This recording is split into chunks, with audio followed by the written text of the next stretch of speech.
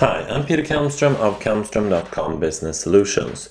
In my previous demo, I went into site settings and found the site content types gallery and created a new content type under the group Contoso. That content type was the Contoso quote, to which I added some columns. In this demonstration, I'm going to start by showing you how to use that. And of course, all files, all contents in Office 365 SharePoint is um, contained in apps. So of course I'll create a new app. And those apps are of two basic types, or actually three in basic types. It's the lists, the document libraries, and the custom apps. So in this case, I'm going to add a document library, which contains files, of course. So I'm going to call that quotes. I'm going to edit the links here, so I'll have this permanently here, the quotes. Uh, in that document library, I'm going to go into the library settings and here I'm going to find the advanced settings. And I'm going to allow management of content types because as uh, I mentioned I've already created a content type. And when I check that yes box option I'm going to click OK.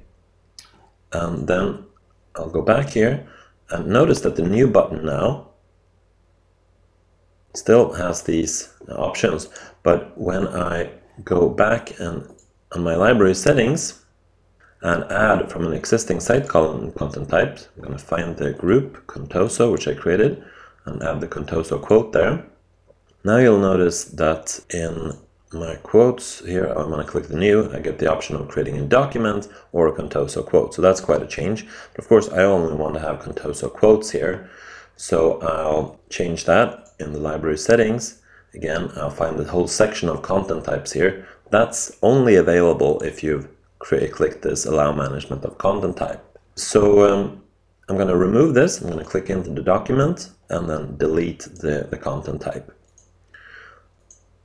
Now that content type is no longer available. I only see Contoso quote and new folders. As you've probably heard in previous demos, I really don't like folders, so I'm going to go into my advanced settings and make sure that I don't see that option there. Make new folder command available, I'll change that to no. Click OK, and then when I go into quotes here, I can click new, Contoso quote, and that's, that's exactly what I want. And as you see, that now opens only in Word and don't get the Word Online option. So that shows you how to connect a content type with a document library. That's what I just did there. In the previous demo, I created the content type. In this demo, I connected the content type with a document library. So in short, what I did was I went to created a new document library under site contents and add an app. Then I went into library settings, the advanced settings and checked allow management of content types.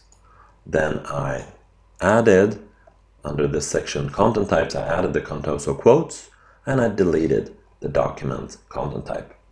And then I went into advanced settings and hid the option for folders. So that's what I did in this demo.